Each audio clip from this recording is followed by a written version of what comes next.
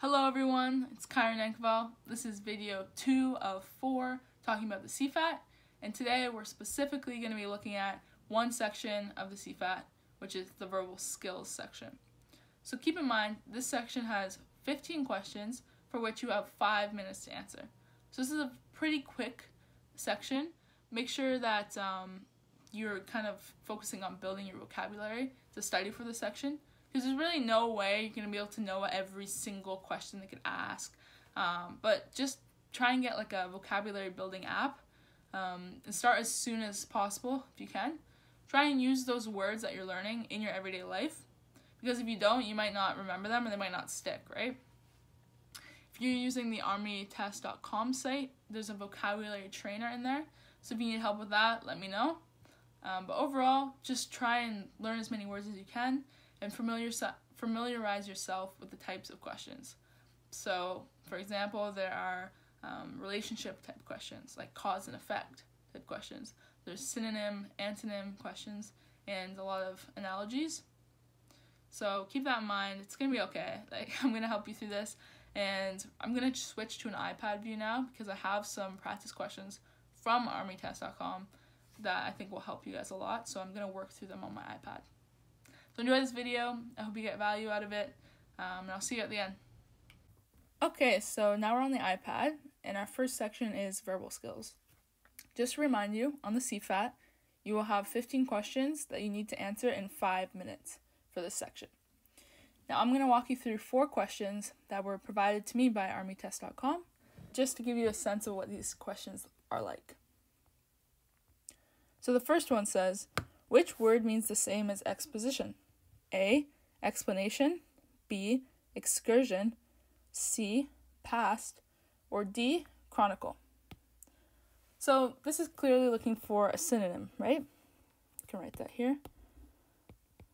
Synonym.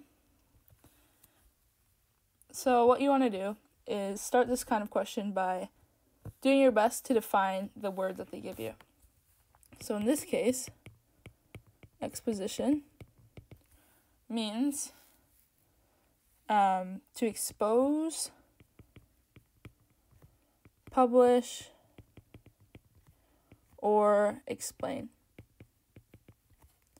Now, in this specific example, you can see that one of our words that was given to us, namely A, explanation, is in the definition of exposition because it says to explain, right? So in this case, you can easily just say that, okay, A is the correct answer and move on. Although, if it was not that obvious, I would suggest going to each of these three other options, or all four of the options, and defining each of them. And then seeing which of their definitions lines up best with the definition you came up with for the word given to you. So let's do that. I'll start at B, excursion. So, an excursion is a short trip or journey. All right, and we'll go to C, past, which means something has gone by in time and no longer exists. No longer exists. And D, chronicle, is a written account of important events. Excuse my writing. in a factual way. Okay, so we can see here that none of these definitions that I've just written down for you align with the one that we originally wrote down for exposition. So therefore, as we discussed in the beginning, explanation is the correct answer, which is A. And just a note on these questions, it requires you to know a lot of definitions, and if you don't know all these definitions, it's okay. Just do it, define as many as you can, and then compare them. Although it would be ideal to go through every single one of the words that are given to you, just so you can be sure you're selecting the right answer. So moving on to question two, which says cohesive is to united as efficient is to blank, which could be A, faster, B, productive, C, lazy, or D, inefficient. So in this question, we're also looking for a synonym. So this is a relationship type of question, right? So you have cohesive is to united. So you can see that cohesive and united are synonyms. As efficient is to blank. So we are looking for this blank right here. Now, the way that I could tell they were synonyms is because I know the definition of cohesive is to stick together, and the definition of united is something like joined together. And these are very similar. So that's how I knew we were looking for a synonym was by simply identifying the two words that were given and then looking at the relationship between them. Now what we want to do is define efficient because we need to come up with a synonym for it. So I'm going to write efficient here and define it. So in my own words, efficient means um, doing the maximum work in the minimum time with minimum effort. So something like that, okay? So now, just as we did in the other question, we're going to go through each of these and try and define all of them to see which of their definitions matches most closely with efficient. So to start with A, faster.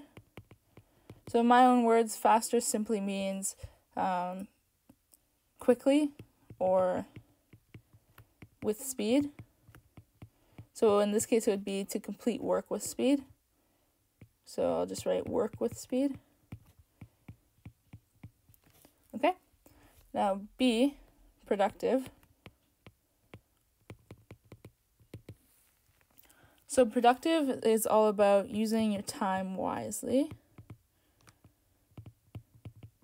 Or in other words, I would say that you want to complete work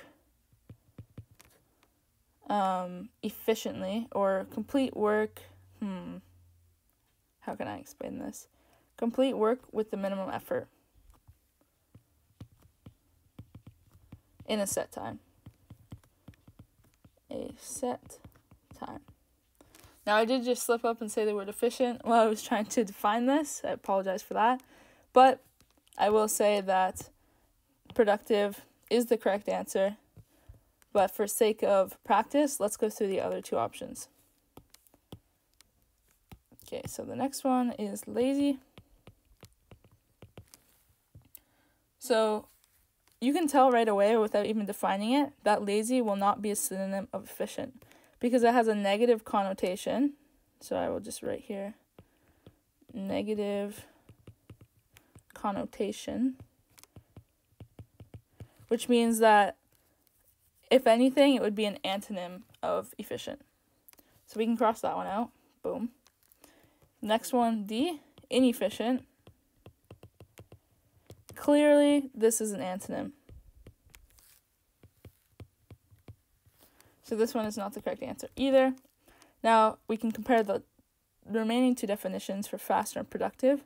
And faster does not mention anything to do with effort. So I would say that faster is missing a large portion of what it means to be proficient, efficient, sorry, what it means to be efficient. So I would cross that one out and by process of elimination, select pro productive. Okay? Now, like I said earlier, um, you could tell that it was productive when you write down the definition, um, but it is good practice just to go through every option just to be sure your answer is correct. So moving on to the third question here, which reads, which word describes the following? Friendly and easy to talk to. Okay, so again, in this question, you want to define the words that are given to you.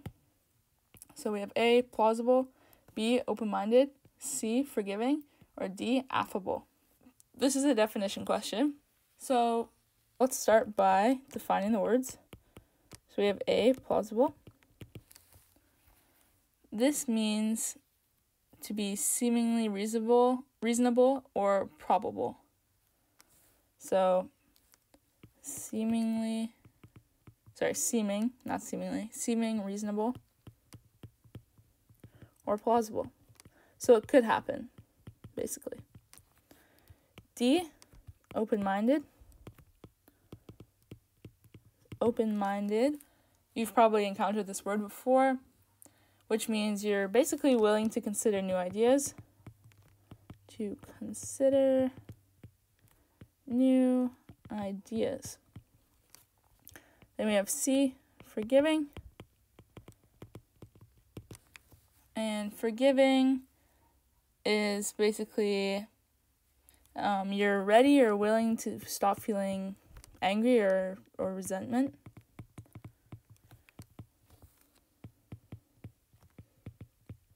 Feeling angry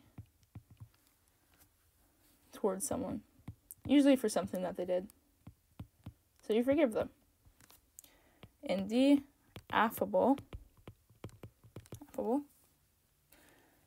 This is basically like friendly, good natured, easy to talk to. So clearly, you can see from these definitions, we didn't really hit the nail on the head until we got to affable. And in this specific definition, you can see friendly shows up. You can see easy to talk to is here as well, and those are both words that were mentioned in the definition. Therefore, it is clear to see that affable is the correct answer in this case. Okay. Moving on to the last question that I have for you guys, which is which is an antonym for despair? So I'm sorry I didn't say that at the beginning, but antonym is like the opposite of the words. You're looking for the opposite meaning. So just like in all the questions before, you want to start by defining the word they give you. Let me just do that in another color, which is despair. So let's start with that. Despair. So this means um, it has a negative connotation, but its meaning is complete loss or absence of hope complete loss or absence. I always spell absence wrong, my bad. I don't even know if that's right still, but we're gonna go with it. Of hope. sorry, this is messy. I'm sorry, guys. my first time doing this on an iPad. There we go. Alright, now, as we've done before, we want to define each of these. So, A, hopelessness or hopeless rather, which it has a negative connotation. So because this has a negative connotation, we know that it cannot be the antonym for despair because despair also has a negative connotation. Let me write that here. Negative connotation. And I'll write Therefore, antonym, sorry, spelling is not great. antonym would have a positive connotation. Con. All right, so because this one has a negative connotation, we know it cannot be hopeless. Likewise, for sad, this also has a negative connotation. So we know that cannot be sad because again, we are looking for an antonym of despair, which already has a negative connotation. So now we move on to C, which is hope. Now this one has a positive connotation. But what does it actually mean? So, hope is um, feeling desire for a certain thing to happen Um, that's just my definition.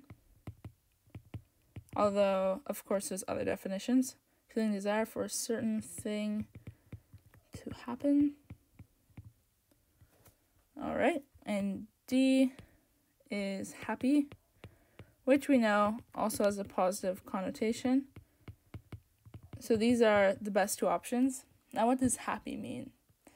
Feeling of pleasure or contentment pleasure or contentment. All right. Okay, so now what we have to do is compare these two definitions to the original definition of despair. So again, despair means the complete loss or absence of hope. So which one is the opposite of that? Well, we can see here that hope is actually in the definition. So if we're looking for an antonym of this, loss of hope, the antonym would be hope, right? So therefore, we know that C is the correct answer. Let me circle it up there for you. So yeah, I hope you guys enjoyed those few questions that I had for you. Um, it was really great of armytest.com to actually allow me to take their questions. So I appreciate that. Shout out to them.